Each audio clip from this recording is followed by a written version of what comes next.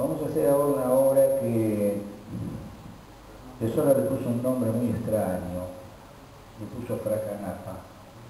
Y, y, como contaba una anécdota, hay una anécdota de él, no sé si este, es una anécdota de José Bragato, el, amigo de él, el músico que escribió mucha música de Astor, o Astor le decía que escribiera, que le pasara las copias.